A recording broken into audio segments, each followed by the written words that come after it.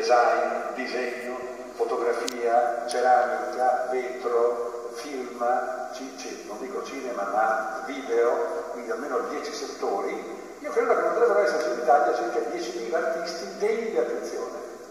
Ma non sono solo 10.000, sono molti di più quelli che producono. E quindi una volta articolato, come ho cercato di fare con una coraggiosa biennale, un gruppo, che ho risposto in 4.000, non era mai capitato, ma era il modo a me dire chi va bene e chi va male, perché potrei semplicemente far prevalere il mio gusto sulla vostra libertà. Ma le precedenti edizioni della Biennale, curate dai miei colleghi, non l'hanno fatta in questo modo. Quando si riaprì il padiglione Italia ci fu una giovane, una non più giovane, anzi significa d'arte, che era stata a Rivoli, che portò due artisti, due.